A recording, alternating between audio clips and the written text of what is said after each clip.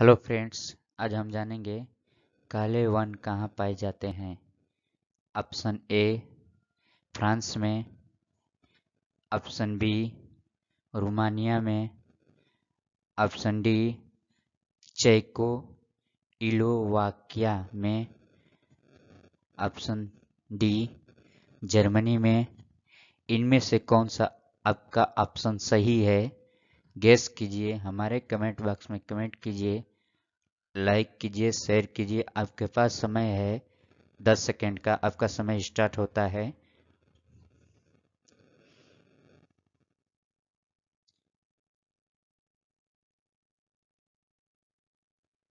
आपका समय समाप्त हुआ, आपका सही आंसर है ऑप्शन डी, जर्मनी में।